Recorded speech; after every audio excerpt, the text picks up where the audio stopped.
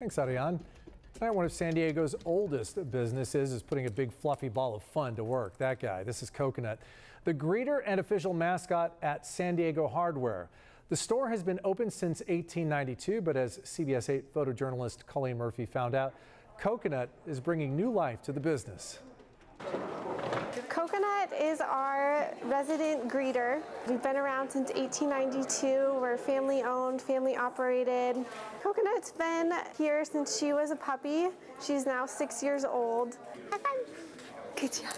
She gets paid in treats. She gets a lot of treats every day. And spin again. She does lots of tricks for people too. Coconut can shake, other paw, high five, roll over.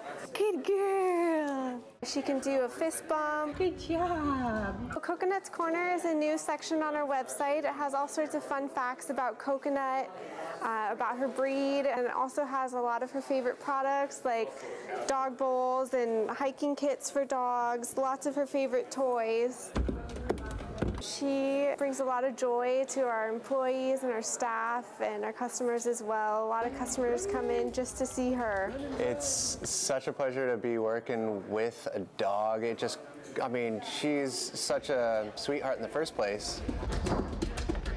I'm in such a good mood every time I walk in. If I'm in a bad mood, I walk in, I see her, I start petting her, she takes the edge off of the whole experience. A lot of people come in here, they're, they got their projects and they're stressing over their projects. Just total change of pace as soon as they see Coconut. I'll see her, I'll stop at the top of the stairs, I'll sit down and I'll pet her for a minute and tell her she's doing a great job. It really is therapeutic for everyone. Everyone, you know, coming to work isn't you know, not at the top of everyone's to-do list, but when you have a wonderful little dog here, it really brightens everyone's day and it, it makes it feel like a real family environment.